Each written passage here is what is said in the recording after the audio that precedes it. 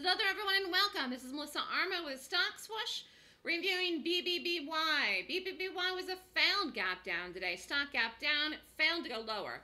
And really looking back and wondering, we did this and took a stop, but ultimately it really shouldn't have gone over 1750. And then it's not like I was making excuses for it, but I was trying to give it a chance. It broke here then, and we did it, and we were up, and then we got stopped. But honestly, you know, I said to myself this morning, 1750.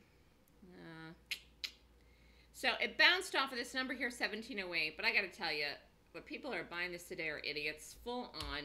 This probably goes again and very, very quickly after today. But today you could not have shorted this and made any money.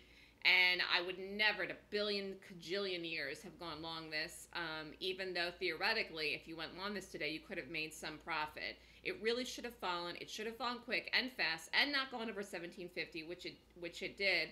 Um, so, anyways, this was a stop for the room today, but this is so typical of what day traders do.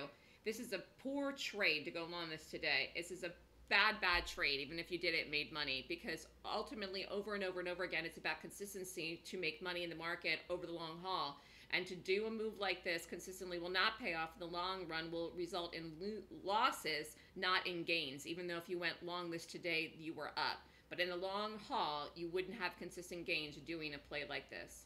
So BBBY was a failed bearish gap today, and we did not do it twice, um, which I did communicate to the room. In fact, we were tight with the stop even as well. So B WTW was the one today to do that worked, and was a big win.